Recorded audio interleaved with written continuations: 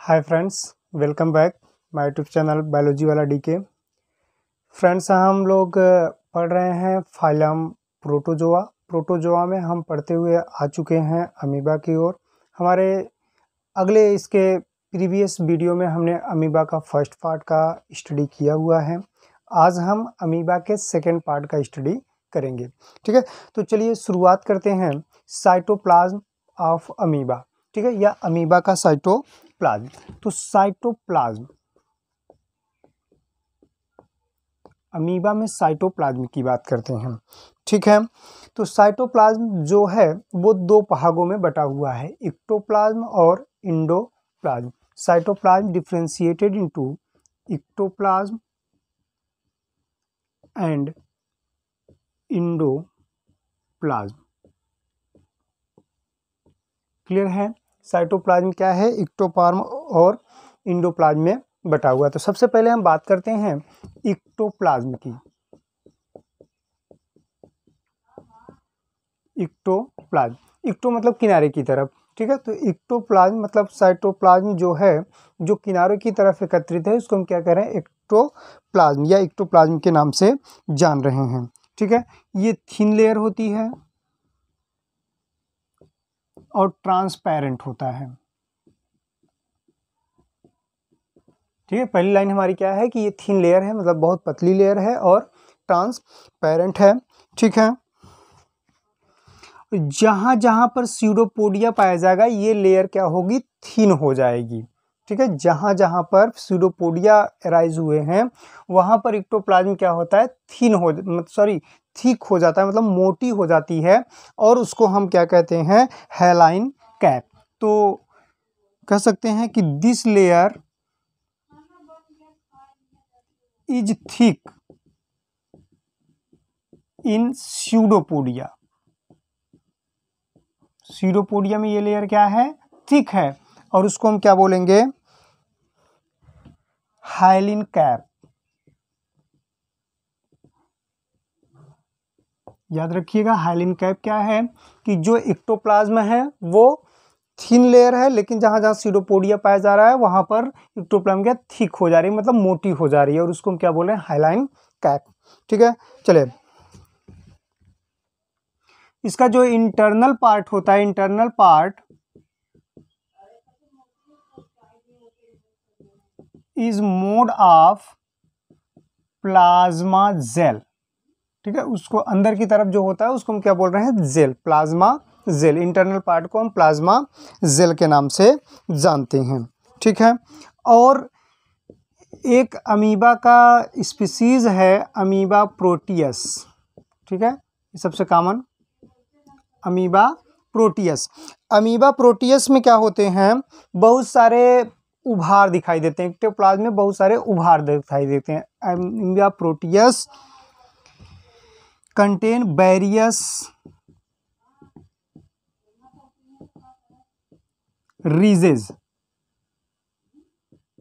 ठीक है? इन ecto plasm ectoplasm में बैरियस क्या होते हैं? रीजेस दैट मीन्स उभार देखने को मिलते हैं और उसको हम क्या बोलेंगे? उसको हम बोलेंगे लॉन्गिट्यूडिनल रीजेस लॉन्गिट्यूडिनल रीजेस ठीक है? उसको हम क्या बोल रहे हैं? लॉन्गिट्यूडनल रीजेज अब ये लॉन्गिट्यूडनल रीजेज क्या करेगा? ठीक है? ये फ्रिक्शन उत्पन्न करता है। दैट मीन्स घर्षण। ठीक है? ये घर्षण सहायता करता है और अमीबा को ग्राउंड से एडहियर चिपकाने में सहायता करता है। And adhere amoeba to ground ठीक है? फिर से समझ लीजिएगा। कि अमीबा प्रोटियस के जो इक्टोप्लाज्म होते हैं, बहुत सारे प्रोजेक्शन उभार निकले होते हैं। या रिस का मतलब उभार से फिंगर लाइक स्ट्रक्चर। और उस उभार को हम बोल रहे हैं लॉन्गिट्यूडनल रीजन उसका कार्य क्या है? उसका कार्य फ़ंक्शन है फ्रिक्शन में। फ्रिक्शन का मतलब घर्षण उत्पन्न करना, ठीक है? क्योंकि आप जानते हैं कि जैसे हम आप साइकिल या मोटर या पैदल भी चल रहे हैं तो क्या है कि ज़मीन और अर्थ और हमारे पैरों के बीच में फ्रिक्शन लग रहा है, जिसके कारण हम फिसल नहीं रहे हैं अगर वो फ्रिक्शन समाप्त तो हो जाए तो फिर क्या होंगे? हम फिसल जाएँगे, ठीक है? तो बारिश के दिनों में कीचड़ लगने से फ्रिक्शन क्या होता है? कमज़ोर हो जाता है, इसलिए हम फिसल जाते हैं। तो वहाँ वो फ्रिक्शन उत्पन्न करते हैं, जिसके कारण अमीबा क्या होता है? ग्राउंड से चिपक जाता है, ठीक है? ये तो रहा उसका इक्टोप्लाज्म अमीबा का। अब हम बात करेंगे इंडोप्लाज्म की, ठीक है? बात करते हैं इंडोप्लाज्म की। तो इंड अभी हमने पढ़ा है कि देखिए, इक्टोप्लाज्म क्या है? ट्रांसपेरेंट है। इंडोप्लाज्म क्या है? Semi transparent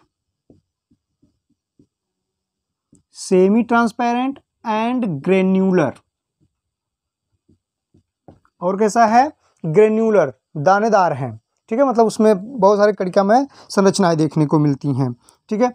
और अमीबा के अंदर जितनी भी स्ट्रक्चर पाए जाते हैं, सब इंडो में पाए जाते हैं। तो अगला पॉइंट हम ये कह सकते हैं कि all the structure present in amoeba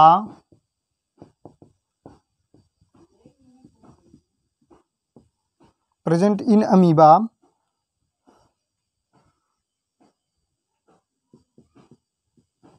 kept in endoplasm वो सभी कहाँ रखे गए हैं? इंडोप्लाज्म के अंदर। या कह सकते हैं कि सभी जो स्ट्रक्चर होते हैं अमीबा में, वो इंडोप्लाज्म के अंदर पाए जाते हैं। ठीक है? चलिए। एक साइंटिस्ट है मास्ट अकॉर्डिंग टू मास्ट ठीक है? इंडोप्लाज्म क्या होते हैं? दो भागों में बटा होता है। According to Mast endoplasm divided into two parts ठीक है? इसके जो इंटरनल पार्ट होते हैं, उसको हम बोलते हैं सॉल प्लाज्मा सॉल उसको हम क्या बोल रहे हैं? प्लाज्मा सॉल ठीक है? और जो पेरीफेरल किनारे की तरफ़ भाग होता है पेरीफेरल उसको हम बोलेंगे प्लाज्मा जेल याद रखिएगा, ये अभी आगे काम देगा। ठीक है? तो इंडोप्लाज्म क्या है? मास्ट के अनुसार दो भागों में बटे गए हैं। इंटरनल पार्ट, जो इंडोप्लाज्म का सबसे अंदर की तरफ़ भाग है, उसको हम प्लाज्मा सॉल बोल रहे हैं, और जो पेरीफेरल भाग है, उसको हम प्लाज्मा जेल के नाम से जानते हैं। ठीक है? लेकिन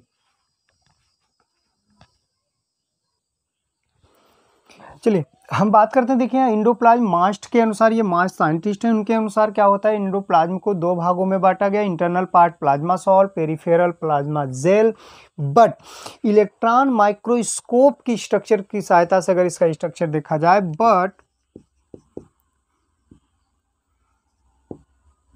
EM that means electron microscope, ठीक है? Does not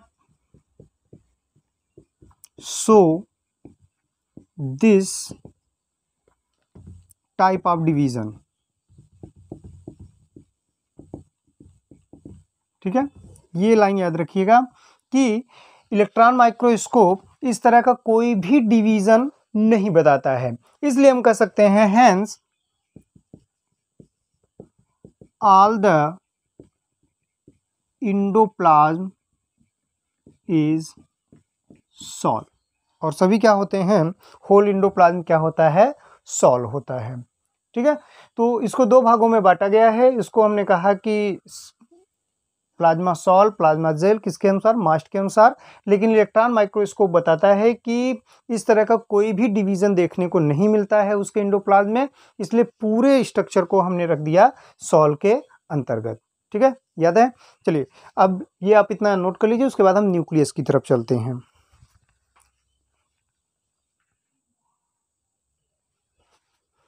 चलिए बात करते हैं हम न्यूक्लियस की, ठीक है? तो जो अमीबा में मोस्टली जो न्यूक्लियस पाए जाते हैं, वो सिंगल पाए जाते हैं। दैट मीन्स जो अमीबा होता है, वो क्या है? यूनी न्यूक्लिएट होता है।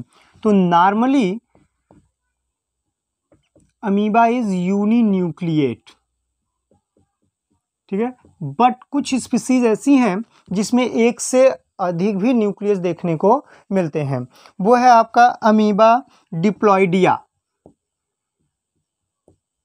अमीबा डिप्लॉइडिया नाम से क्लियर है डिप्लॉइडिया मतलब टू न्यूक्लियाई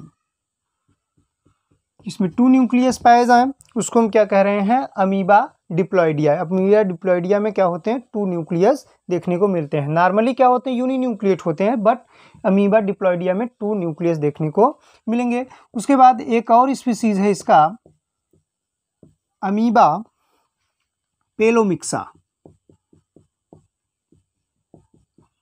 अमीबा पेलोमिक्सा इसमें क्या होते हैं? एक से अधिक मतलब दो से भी अधिक, इसलिए इसको हम कहते हैं multinucleates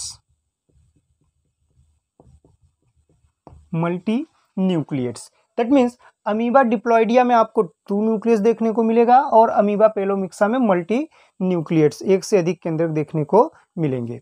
ठीक है? अगर हम बात करें कि न्यूक्लियस के अंदर क्या होते हैं? प्रोटीन का फाइबर प्रेजेंट होता है मतलब प्रोटीन के तंतु पाए जाते हैं। ठीक है? उसको हम कहते हैं हनी कम लेटिस तो कह सकते हैं in nucleus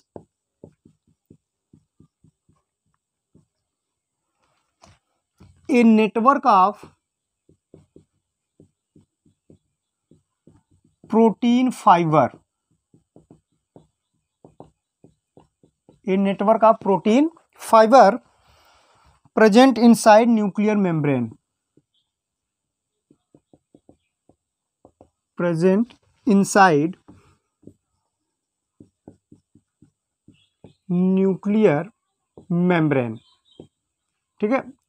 मतलब न्यूक्लियस के अंदर क्या होते हैं? न्यूक्लियस मेम्ब्रेन के अंदर की तरफ़ एक प्रोटीन फाइबर पाया जाता है, जिसको हम क्या कहेंगे?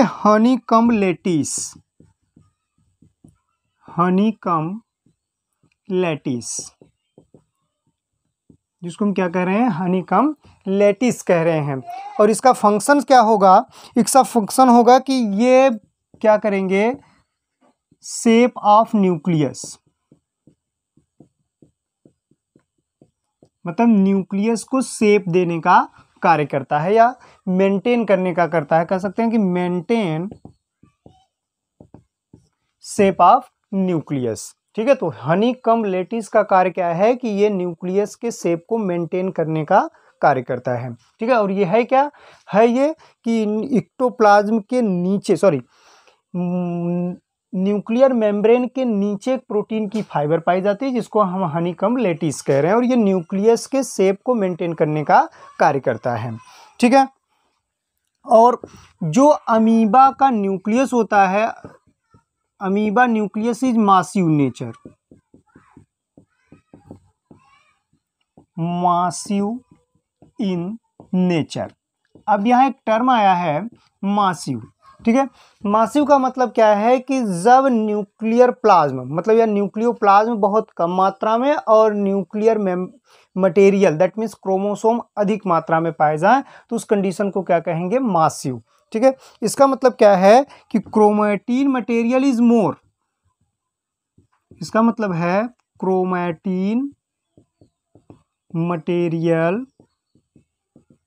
is more but ठीक है क्रोमेटिन मटेरियल क्या है? बहुत ज़्यादा है, लेकिन nucleoplasm less in quantity nucleoplasm less in quantity ठीक है? तो अमीबा का जो न्यूक्लियस होता है मासिव नेचर का होता है मतलब उसमें क्रोमेटिन बहुत अधिक मात्रा में पाए जाते हैं क्रोमेटिन मटेरियल क्या होते हैं? अधिक मात्रा में पाए जाते हैं, लेकिन न्यूक्लियोप्लाज्म क्या होते हैं? लेस क्वांटिटी में होते हैं। ठीक है?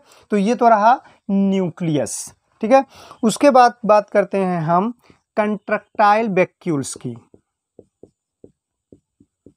Contractile vacuole. ठीक है? शॉर्ट में इसको हम सी वी के नाम से भी जान सकते हैं। ठीक है? तो ये हमारा कंट्रक्टाइल वैक्यूल्स हुआ। ठीक है? कंट्रक्टाइल वैक्यूल्स क्या है कि ये पीछे से आप पढ़ते चले रहे ये पैरामेशियम से ही पाए जा रहे हैं और ये पूरे प्रोटोजोन्स में आप देख रहे हैं लगभग कि ये आसमो रेगुलेशन में हेल्प करता है। मतलब कि बॉडी में फ्लूइड्स, दैट मीन्स वाटर और साल्ट को मेंटेन करने का कार्य करता है। ठीक है? तो कंट्रक्टाइल वैक्यूल्स के जो नंबर्स होते हैं तो ओनली वन इन नंबर्स।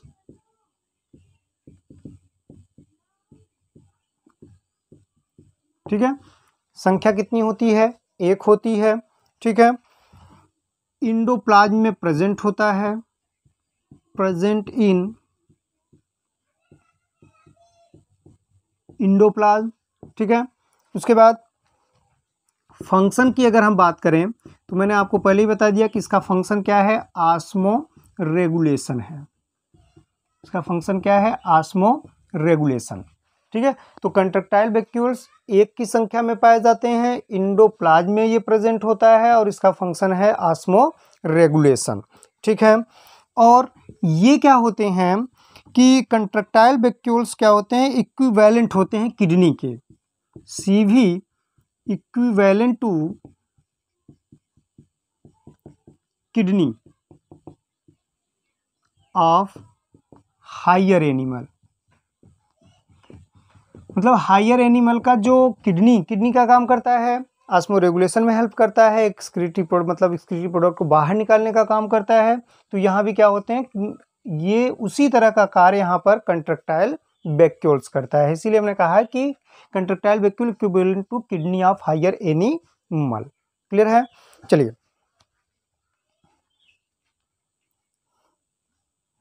या इसी को हम मतलब उसमें किडनी की यूनिट आप जानते हैं, नेफ्रॉन्स या यूरिनीफेरस ट्यूब्यूल्स।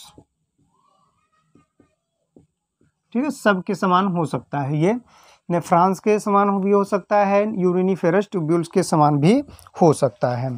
ठीक है, इसी में एक फीडिंग कैनाल पाई जाती है तो फीडिंग कैनाल और रेडिएटिंग कैनाल।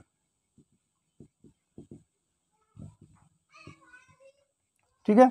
फीडिंग कैनाल और रेडिएटिंग कैनाल से क्या होते हैं? पानी इंटर करता है। ठीक है? Water enter collect water from cytoplasm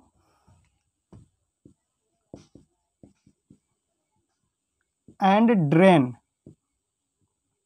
out and drain out contractile vacuole.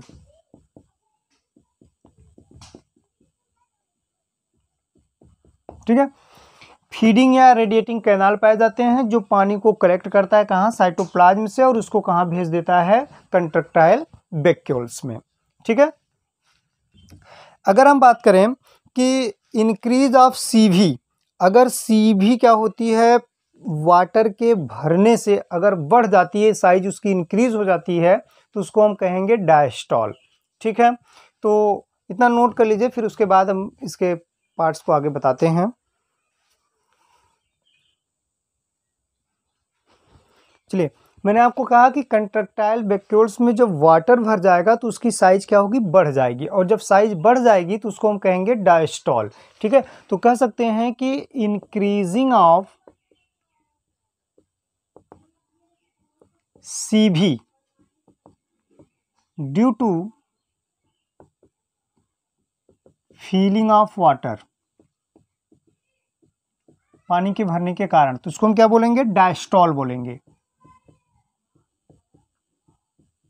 ठीक है? इसको हम क्या बोल रहे हैं? डायस्टॉल और जब डायस्टॉल होगा, आप सोचिए कि जब पानी ज़्यादा भर जाएगा तो क्या होंगे? किनारे की दीवार गुब्बारे की तरफ़ फट जाएगा। और जब फट जाएगा तो पानी क्या होगा? बाहर निकल जाएगा। जब बाहर निकल जाएँगे तो कंट्रक्टाइल वैक्यूल्स क्या होंगे? सिकुड़ जाएँगे। अर्थात जो फूला हुआ था वो फिर से सिकुड़ गए। और इस प्रक्रिया को आप क्या कहेंगे? सिस्टॉल तो कंट्रक्टाइल वैक्यूल्स में इसीलिए इसको नाम दिया गया है कंट्रक्टाइल मतलब सिकुड़ने और फैलने वाली रिक्ति क्या? खाली स्थान। ठीक है? तो इसमें क्या हो रहे हैं कि आप देख रहे हैं, पानी भर रहा है तो उसके कारण उसकी जो साइज़ है वो बढ़ जा रही है और पानी फिर कैसे बाहर निकल रहा है कि उसके जो प्लाज्मा लेमा है, प्लाज्मा लेमा ब्रस्ट मतलब फट जाते हैं और फटने के बाद पानी क्या होता है, बाहर की ओर फेंक दिया जाता है। ठीक है? तो इस प्रक्रिया को हम क्या कहेंगे? सिस्टॉल। ठीक है? तो कह सकते हैं when C V large when C V large ठीक है? It burst near plasmalemma it burst near plasmalemma. ठीक है? And water is thrown out and water is thrown out बाहर की ओर ढकेल दिया जाता है। और इसी प्रक्रिया को आप क्या बोलते हैं? सिस्टोल ठीक है? इसको हम क्या कह रहे हैं? सिस्टॉल कह रहे हैं। अब सोचिए अब पानी को रिसीव करने के लिए, उसको बाहर ढकेलने के लिए एनर्जी की आवश्यकता होगी। तो वह एनर्जी देने का काम कौन करता है? माइटोकांड्रिया एनर्जी देने का काम कौन कर रहा है? माइटोकांड्रिया इसलिए कंट्रक्टाइल वैक्यूल के चारों तरफ़ बहुत सारे माइटोकांड्रिया होते हैं। तो कह सकते हैं कि maximum energy used in this process maximum energy used in this process so many mitochondria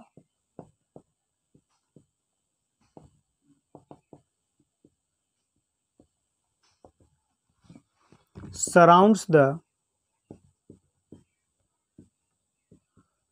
CV ठीक है इसलिए बहुत सारे माइटोकॉन्ड्रिया क्या करते हैं सीवी को घेरे रहते हैं ठीक है अगर फंक्शनल सीवी को फंक्शनल सीवी ठीक है? फंक्शनल सीवी को क्या करें कि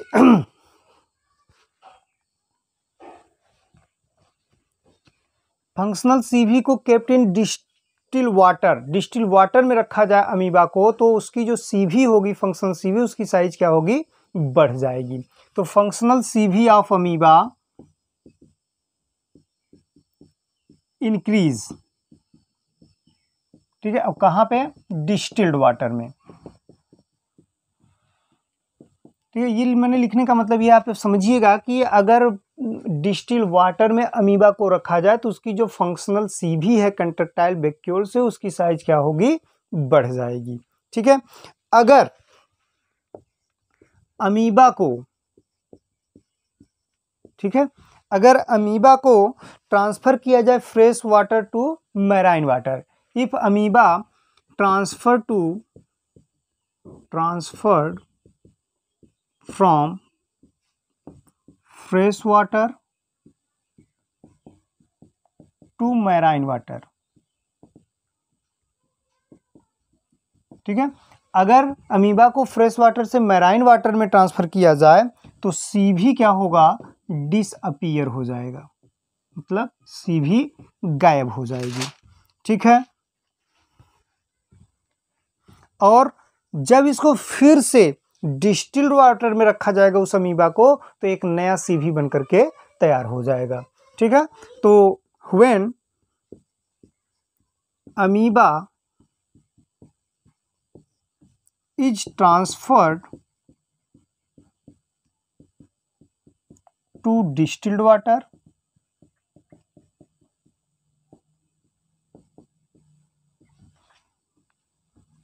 new CV is formed मतलब हम देख रहे हैं कि जब उसको डिस्टिल वाटर में रखा जा रहा है तो सीवी की साइज़ क्या हो रही इंक्रीज हो जा रही है। ठीक है? लेकिन अगर उसको हम फ्रेश वाटर से मैराइन वाटर में ले जा रहे हैं तो सी भी डिसअपियर दैट मीन्स गायब हो जा रही है। फिर उसको जैसे ही हम फिर से ला रहे हैं अमीबा को डिस्टिल वाटर में, एक नए सीवी का फॉर्मेशन हो जाता है। ठीक है? एक स्टार पॉइंट इसमें यह है कि सिस्टॉल जो होते हैं, वो सडन होते हैं। सिस्टॉल इज़ सडन मतलब अचानक होते हैं। बट डायस्टॉल इज़ ग्रेजुअल मतलब धीरे धीरे होता है। ठीक है? सिस्टॉल क्या होते हैं? जल्दी से होते हैं बट डायस्टॉल क्या होते हैं?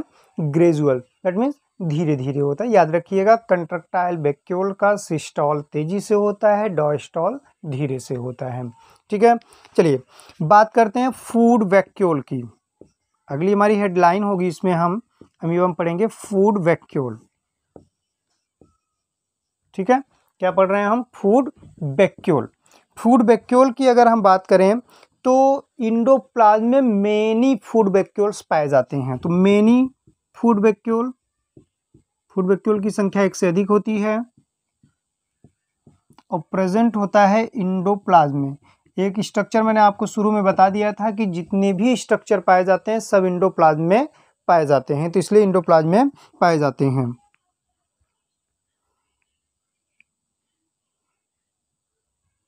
और प्रत्येक बार जब भोजन को इनगल्फ या इंजेस्टेड किया जाता है, तब और उतनी बार एक नए फ़ूड वैक्यूल का फॉर्मेशन होता है। तो when food is ingested, new, a new food vacuole is formed याद रखिएगा, जितनी बार वो फ़ूड को इनगल्फ करेंगे, उतनी बार नए फ़ूड वैक्यूल का निर्माण हो जाएगा। ठीक है? जो डाइजेशन होता है डाइजेशन ठीक है? Digestion occur in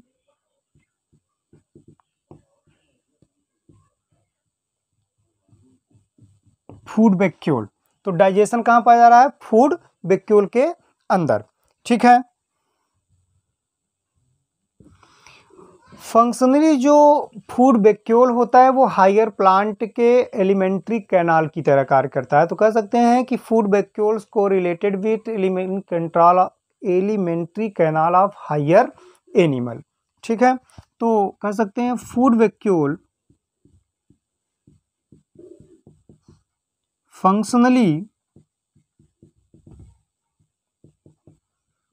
को related with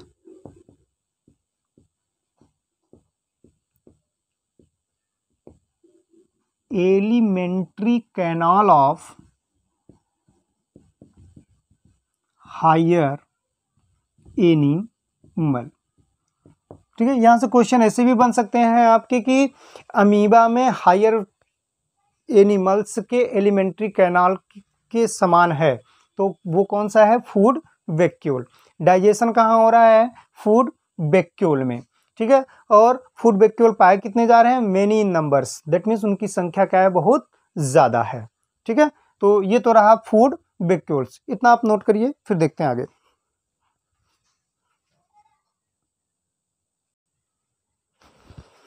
आइए अब बात करते हैं लोकोमोशन इन अमीबा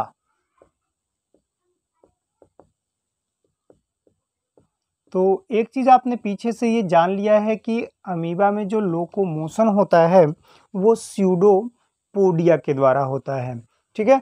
तो अमीबा क्या है? यू नो दैट अमीड, अमीबा इज़ पॉलीपोडियल एनिमल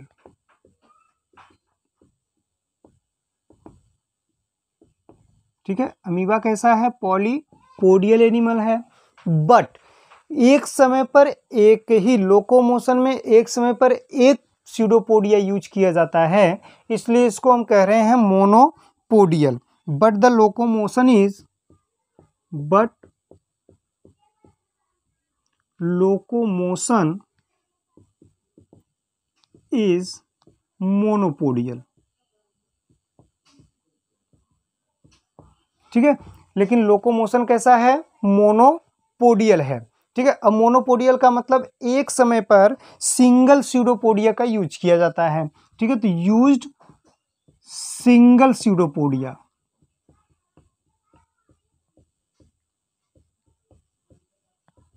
ठीक है? अब सिंगल सीडोपोडिया का एक समय पे यूज़ किया जाता है और इस प्रकार के मूवमेंट को ही हम अमीबॉयड मूवमेंट के नाम से जानते हैं कि सीडोपोडिया एक से अधिक पाए जा रहे हैं, लेकिन एक समय पर एक ही सीडोपोडिया का यूज़ किया जा रहा है, इसलिए इसको हम अमीबॉयड मूवमेंट के नाम से जानते हैं। ठीक है तो जो लोकोमोशन होता है locomotion of amoeba completed in three stage ठीक है तो locomotion of amoeba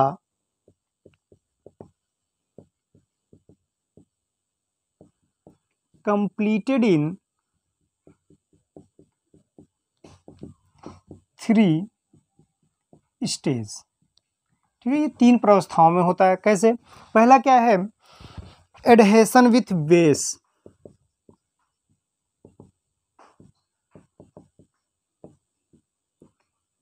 आपको याद होगा, अभी जस्ट पहले हमने बताया आपको कि इक्टोप्लाज्म में क्या होते हैं, बहुत सारे प्रोजेक्शन लाइक स्ट्रक्चर दिखाई देते हैं, जिसको आप लॉन्गिट्यूडनल रीज कहते हैं।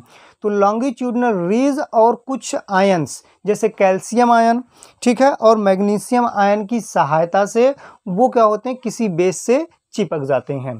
ठीक है तो एडहेसन विथ बेस में क्या होगा कि लॉन्गिट्यूडनल रीज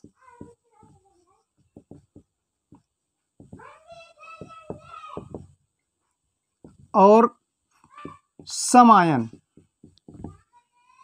लाइक कैल्शियम आयन और मैग्नीशियम आयन ठीक है? ये क्या करते हैं? किसी बेस से अमीबा को चिपकाने में सहायता करते हैं। तो पहले क्या होगा? अमीबा किसी बेस से चिपक चिपक जाएगा। ठीक है? फिर दूसरा इसमें क्या है? Interconversion of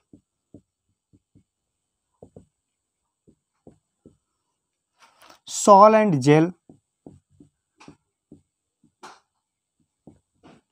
interconversion of sol and gel. ठीक है, सॉल और जेल का इंटर कन्वर्जन ठीक है, और ये क्या करता है, ये जो इंटर कन्वर्जन है मतलब आपस में मिलना है, ये क्या करते हैं सीडोपोडिया के फॉर्मेशन में सहायता करते हैं। तो कह सकते हैं कि essential for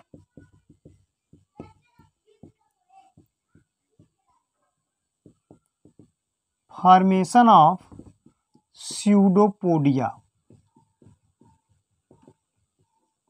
ठीक है? ये सीरोपोडिया के फॉर्मेशन में सहायता करते हैं। ठीक है? उसके बाद contraction in body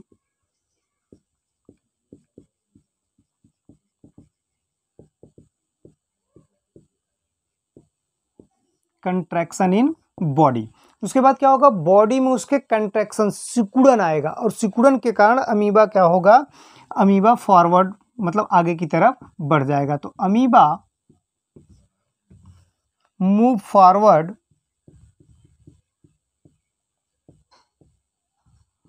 by this contraction ठीक है? तो हमने देखा कि लोकोमोशन जो होते हैं अमीबा में, वो थ्री स्टेज में कंप्लीट होते हैं। ठीक है? Adhesion with base interconversion of sol and gel contraction of contraction in body ठीक है? तो ये तो था कैसे लोकोमोशन होता है। लेकिन इस लोकोमोशन के संबंध में कई थियरीज दी गई हैं। उन थियरीज के बारे में भी हम यहाँ पे चर्चा करेंगे। तो अगली हमारी हेडिंग होगी थियरीज रिलेटेड विथ लोकोमोशन ठीक है? Theories related with locomotion locomotion के संबंध में कौन कौन सी थियरी दी गई है? इसमें जो सबसे पहली थियरी दी गई है, उसका नाम है rolling movement theory rolling movement theory ठीक है? इस थियरी के जो प्रतिपादक हैं, वो है जेनिंग्स ठीक है? इस थियरी को देने वाले साइंटिस्ट का नाम क्या है? जेनिक्स है। इनके अनुसार क्या होता है? अमीबा जो होते हैं फुटबॉल की तरह रोल करता है। जैसे फुटबॉल घूम की तरफ़ आगे जा रहा है, उसी तरह से अमीबा क्या होता है? रोल करता है और उस रोल के कारण, ठीक है, क्या होते हैं? ये अमीबा एक स्थान से दूसरे स्थान तक जाते हैं। तो according this theory amoeba roll like a football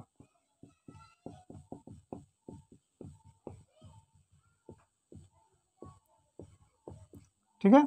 amoeba क्या होते हैं? फुटबॉल की तरह रोल करते हैं। लेकिन ये अमीबा की केवल दो स्पीसीज के लिए यह थीरी मान्य होती है। ठीक है? और वो दो स्पीसीज हैं अमीबा, बीरुकोसा और अमीबा स्ट्रेटा। दो स्पीसीज ऐसे हैं जेनिंग्स ने बताया कि ये दोनों क्या करते हैं फुटबॉल की तरह रोल करते हुए लुढ़कते हुए ये आगे की तरफ़ बढ़ जाते हैं। इसलिए कहा गया रोलिंग मूवमेंट थियरी और प्रपोज्ड बाय जेनिंग्स ठीक है? याद करिए, आगे हम ये इतना नोट कर लीजिए, आगे और थियरी की बात करते हैं। चलिए, आगे हम थियरी की बात करते हैं तो अगली थियरी है कंट्रैक्शन थियरी ठीक है? अगला जो थियरी दिया गया लोकोमोशन के संबंध में, वो है कंट्रैक्शन थियरी ठीक है, अगली थियरी क्या है? कंट्रैक्शन थियरी प्रपोज्ड बाय स्लड्स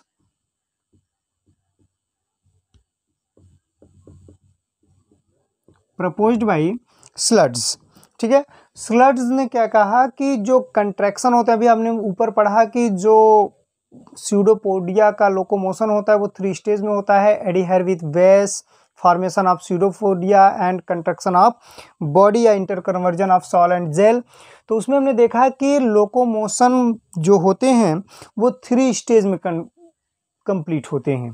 ठीक है, लेकिन स्लड्स क्या कह रहे हैं कि जो बॉडी होती है वही कंट्रैक्ट होती है और सीडोपोडिया का फॉर्मेशन हो जाता है। लेकिन only contraction is not possible for formation of pseudopodia hence this theory is not accepted ठीक है? तो कह सकते हैं कि यहाँ ये क्या वहाँ से कह रहे हैं स्लड साहेब, कि pseudopodia is formed pseudopodia is formed by contraction. By contraction. लेकिन only contraction is not responsible for formation of pseudopodia hence this theory is not acceptable clear है याद रखिएगा आगे है अगली थियरी अगली थियरी कहती है walking movement theory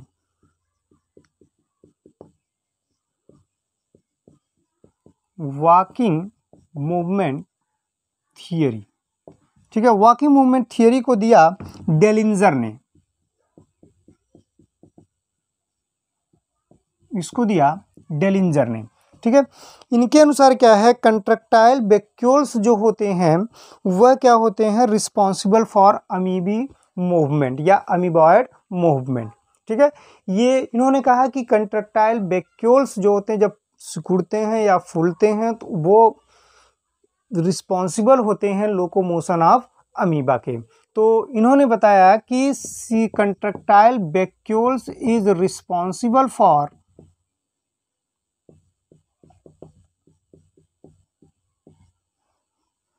amoeboid movement.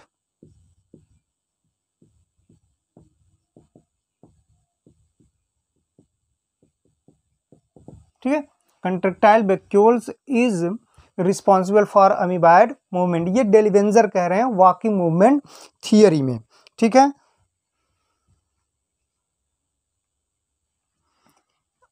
इसके कारण जो आपके सीडोपोडिया बनते हैं, वो किसी बॉडी से आधार से चिपक जाते हैं और बॉडी को फोर्स करके वो एक आगे बढ़ जाते हैं। ठीक है? अगला है सरफेस टेंशन थियरी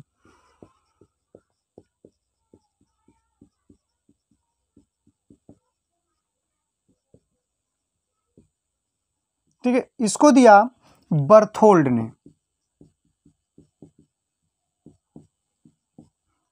ठीक है surface tension theory given by Berthold तो इन्होंने बताया कि जो सीडोपोडिया का निर्माण होता है, वो सरफेस टेंशन के कारण होता है। ठीक है तो कह सकते हैं pseudopodia formed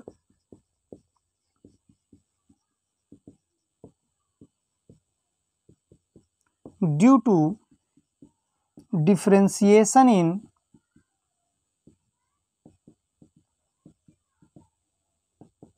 differentiation in surface tension.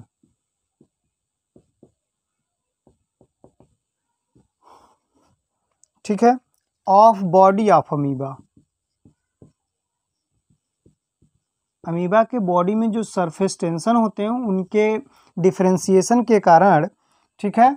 और ग्राउंड ग्राउंड के बीच में जो सरफेस टेंशन पृष्ठ तनाव है, उनमें डिफ्रेंसिएशन होता है, जिसके कारण सीडोपोडिया का निर्माण होता है और उस सीडोपोडिया की सहायता से अमीबा लोकोमोशन में हेल्प करता है। ठीक है?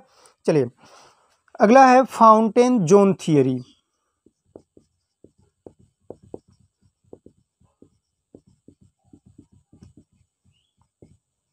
fountain zone theory given by Allen ठीक है? उसको किसने फाउंटेन जोन थियोरी को किसने दिया?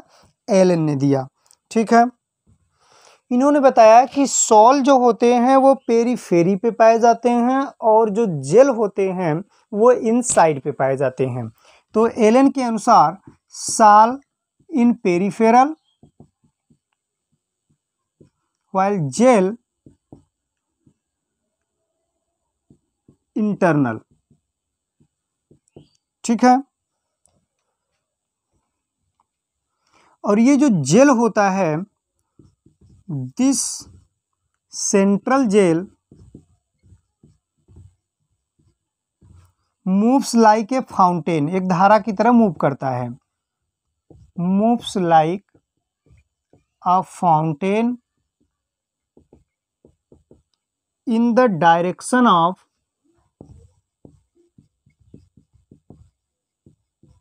locomotion और जेल जो होता है वो जिस दिशा में लोकोमोशन होना है, उसमें फाउंटेन की तरह कार्य करता है। ठीक है? और यह फाउंटेन क्या करता है? प्रेशर अप्लाई करता है। Fountain apply fountain apply pressure और ये कि प्रेशर उत्पन्न करता है over ectoplasm over ectoplasm and pseudopodia is form. और इसके कारण क्या होता है? सीडोपोडिया का निर्माण हो जाता है। And pseudopodia is form. ठीक है? बट, लेकिन अभी हमने पीछे पढ़ा कि जो जेल होते हैं, वो पेरीफेरल पे पाए जाते हैं। सॉल क्या होते हैं? इंटरनल में पाए जाते हैं। ये ऑलवेज क्या होता है? पेरीफेरल पर जेल पाए जाते हैं। सॉल जो होते हैं इंटरनली पाए जाते हैं। इसलिए इस थियरी को भी एक्सेप्ट नहीं किया गया। तो इस ये थियरी भी मान्य या उपयुक्त नहीं बैठती है लोकोमोशन के संबंध में अमीबा के। ठीक है?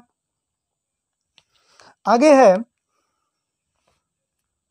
सॉल जेल थियरी तो अगली थियरी है सॉल जेल थियरी या चेंज ऑफ़ विस्कोसिटी थियरी ठीक है? जाते हैं इसको हम।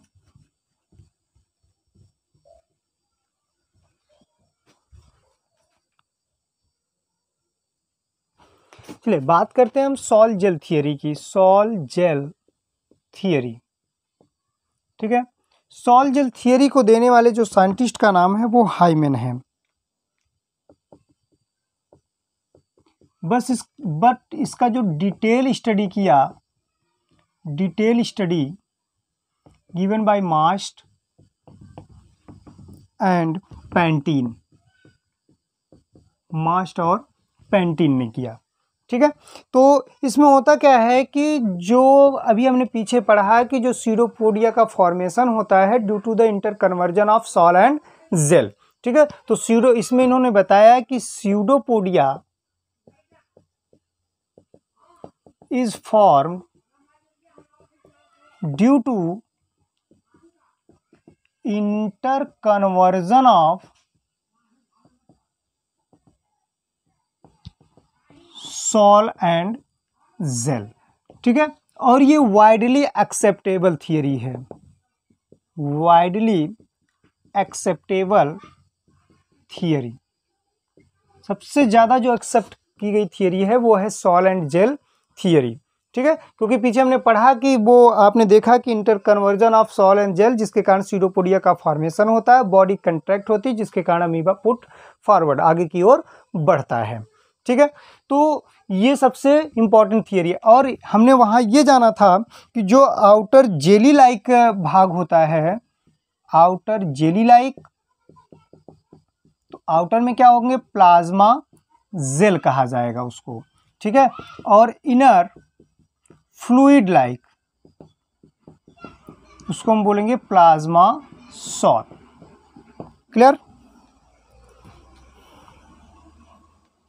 और इसके संबंध में कुछ थियरी दी गई हैं। Some theories are given about sol and gel theory दो थियरियाँ दी गई हैं जिसका नाम है molecular folding unfolding theory molecular folding and unfolding theory ठीक है, ये थियरी आपके इसके संबंध में दी गई है कि हाँ ये थियरी सही बताती है। दूसरा है contraction hydraulic theory contraction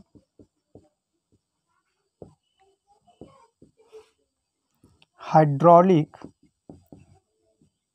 theory ठीक है? चलिए, ये तो रहा theory according to loco motion ठीक है? अब बात करते हैं nutrition nutrition in amoeba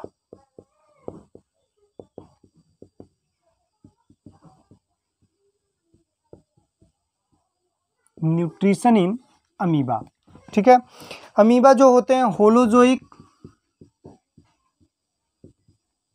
या जूट्रॉफिक होते हैं दैट मीन्स एनिमल लाइक जो कि एनिमल की तरह भोजन को ग्रहण करते हैं, ठीक है? और फ़ीड बाई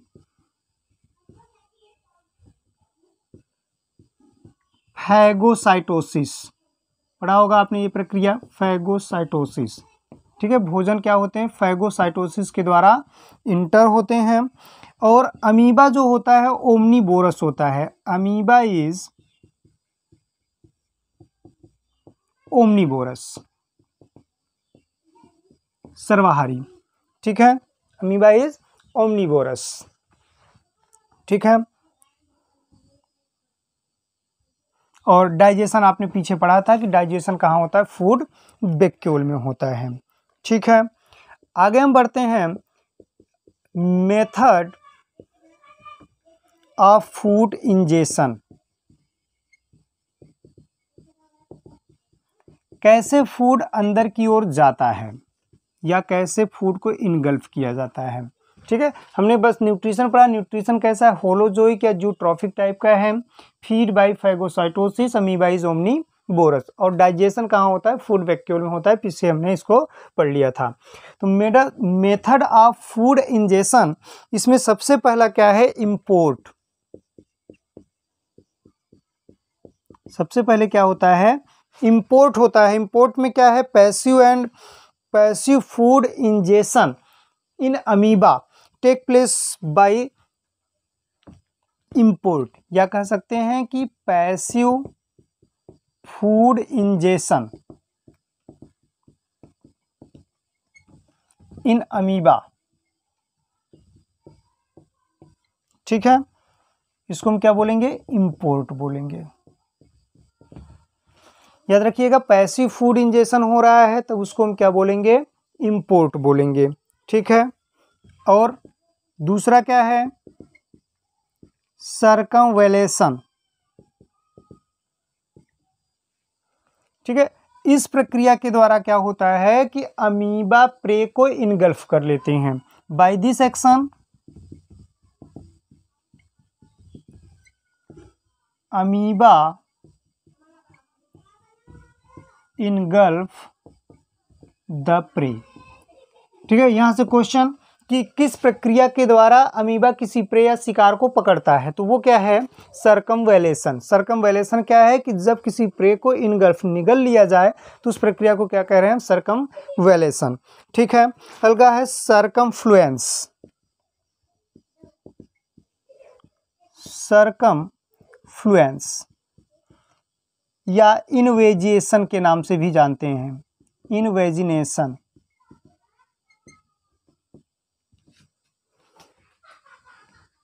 ठीक है? जब किसी मोशनलेस या इनएक्टिव ऑर्गेनिज्म के पास अमीबा या उसको इनगल्फ करे तो उस प्रक्रिया को हम क्या कहेंगे? सरकम फ्लुएंस या invagination that means when amoeba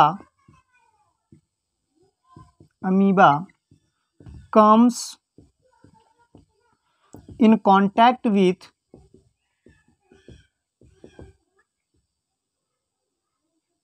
a less active और मोशनलेस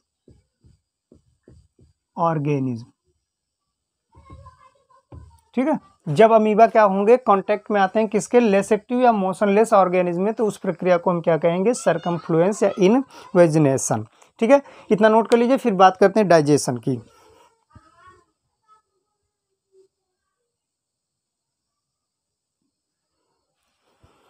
आइए बात करते हैं डाइजेशन इन अमीबा डाइजेशन ठीक है? डाइजेशन जो होता है, अभी आपने पढ़ा कि digestion occur in food vacuole ठीक है? डाइजेशन कहाँ हो रहा है? फ़ूड बैक्यूल और फ़ूड बैक्यूल क्या हो रहा है? सेल के अंदर इंडोप्लाज्म में पाया जा रहा है। इसलिए कह सकते हैं कि अमीबा में जो डाइजेशन होता है वो इंट्रासेलुलर होता है। क्लियर है? डाइजेशन इंट्रासेलुलर और occur in food vacuole digestion intracellular है और फ़ूड वैक्यूल्स में पाए जा रहे हैं। ठीक है? आगे हम बात करें तो जो फ़ूड वैक्यूल होता है, फ़ूड वैक्यूल ठीक है? वो हायर एनिमल के गट से, ठीक है? Gut of higher animal alimentary canal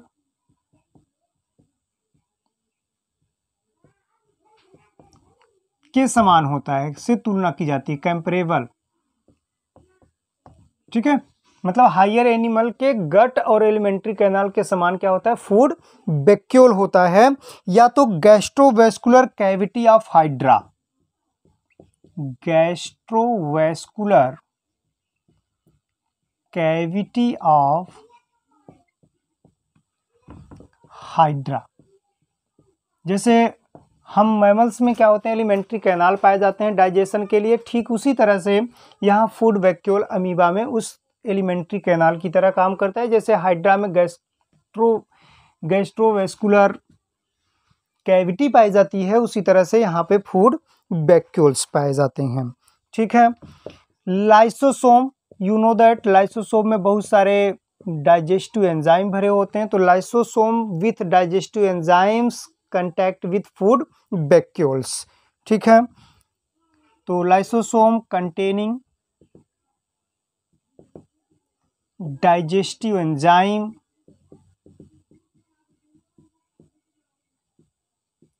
Fuse with food vacuole. Food vacuole ठीक है? फ़ूड बेक्यूल्स पहले क्या होता है? एसिडिक होता है और देन एल्केलाइन होता है। तो food vacuole first acidic then alkaline. ठीक है?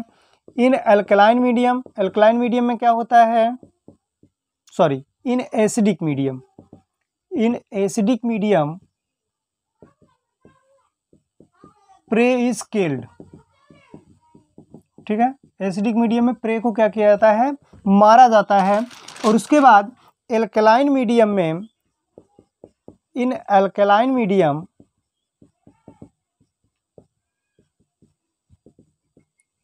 digestion of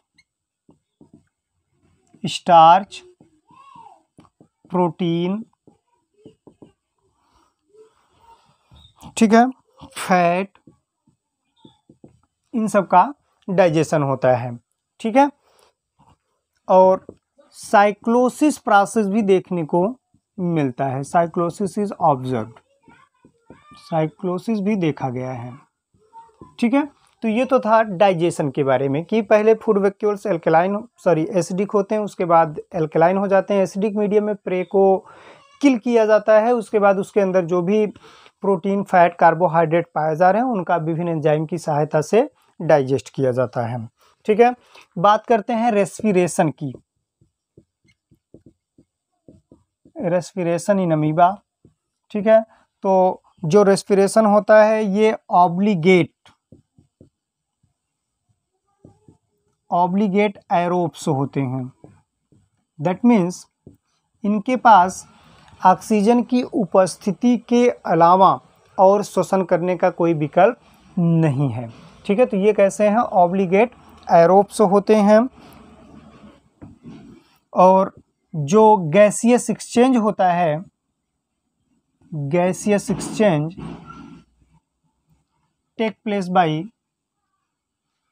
diffusion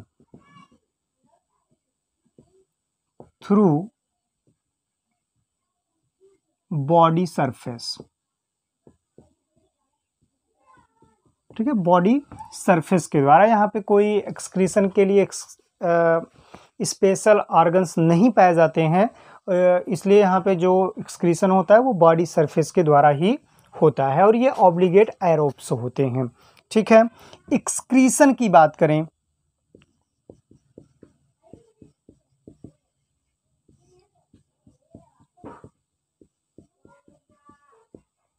एक्सक्रीशन तो जहाँ एक्सक्रीटरी प्रोडक्ट्स जो होगा वो होगा अमोनिया तो एक्सक्रीटरी प्रोडक्ट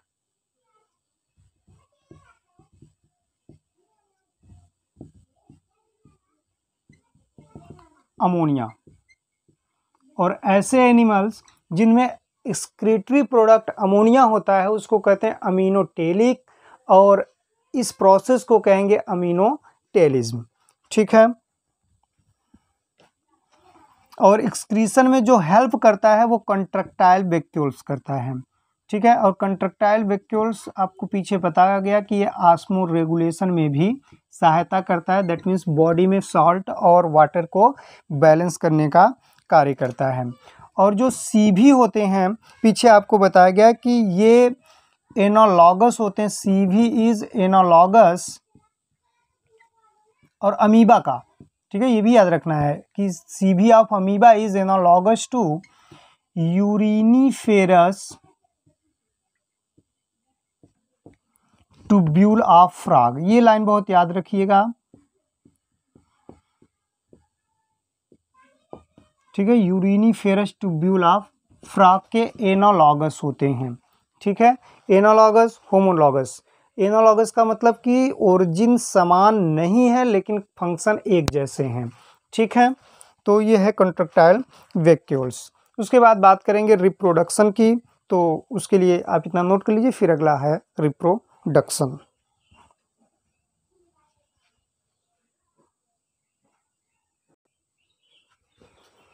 ये बात करते हैं रिप्रोडक्शन की।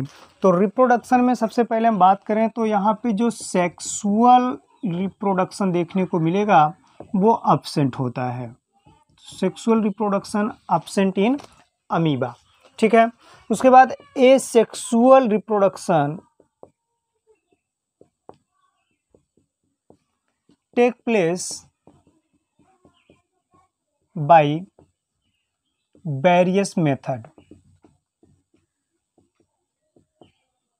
ठीक है? इसमें पहला है आपका बाइनरी फिजन पीछे आपने पढ़ा है बाइनरी फिजन क्या है? इट इज़ सिंपल ठीक है? तो सिंपल और most common simple and most common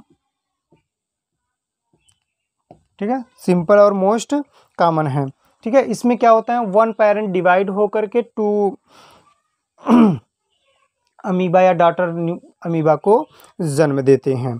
ठीक है? और ये तब होता है जब अवेंडेंट मात्रा में अवेंडेंट फ़ूड ठीक है? Optimum temperature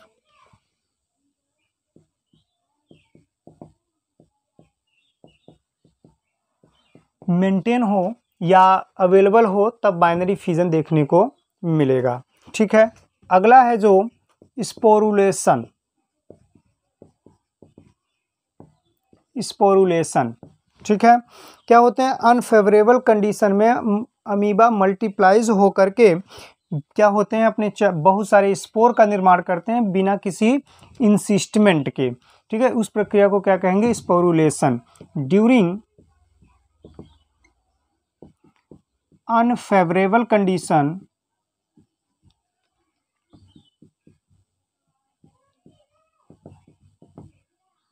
Amoeba multiplies.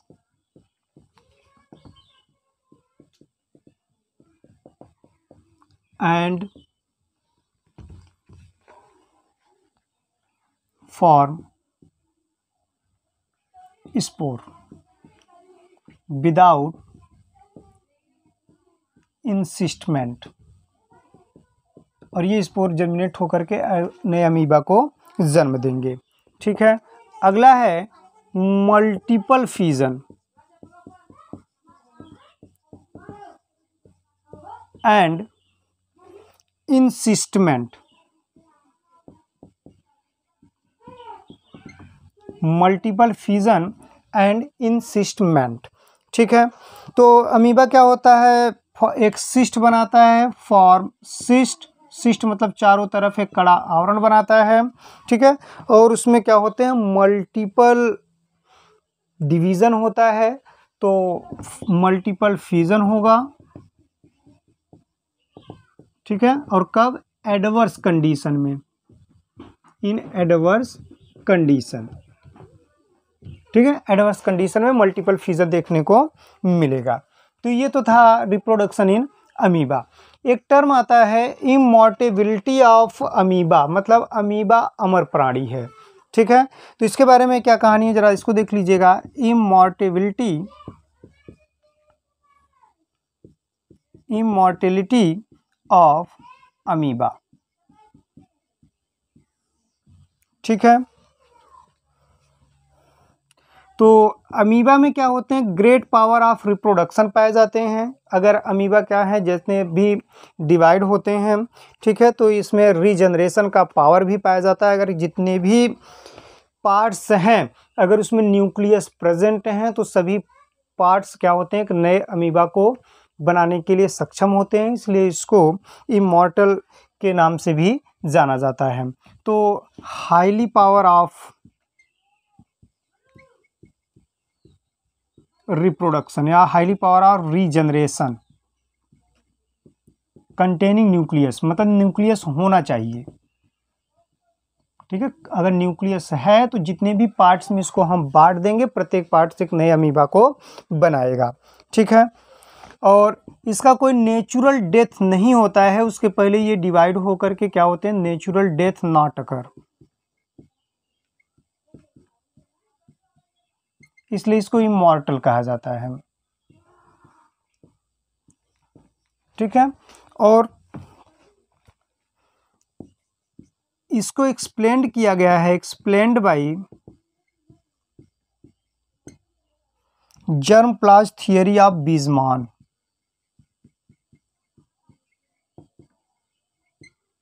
theory of Weismann ठीक है? इन्होंने बताया क्या कि amoeba is not differentiated. Amoeba में क्या होते हैं?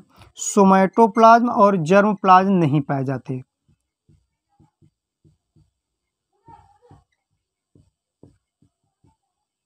Germ plasm not occur. ठीक है? तो जर्म प्लाज सोमेटोप्लाज्म ये सब पाए नहीं जाते तो जिसके कारण क्या होते हैं? आ, ये एक पार्ट से दूसरे पार्ट्स में जब बटते हैं तो एक से अधिक अमीबा का निर्माण करते हैं। ठीक है, इसलिए इसको मॉर्टल के नाम से जानते हैं। और इस टाइप का सोमेटोप्लाज्म जर्म प्लाज्म इस तरह का जो डिफ्रेंसिएशन होता है, वो मल्टीसेलुलर या आगे वाले जो भी हायर्स एनिमल होते हैं, उनको देखने को मिलता है। तो ओवरऑल हमने दो पार्ट्स में अमीबा के बारे में जाना। तो आपको वीडियो कैसा लगा, आप कमेंट बॉक्स में ज़रूर बताएँ। वीडियो को लाइक सब्सक्राइब कीजिए। और मस्त से पढ़िए। धन्यवाद।